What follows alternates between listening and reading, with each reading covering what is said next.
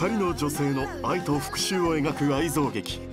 親友の誤解による憎しみで人生を狂わされ復讐を誓ったヒロインは3度目の結婚で本当の幸せをつかむことができるのか。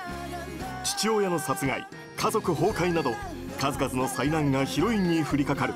3番目の結婚第1第2話先行放送。どうぞお楽しみに。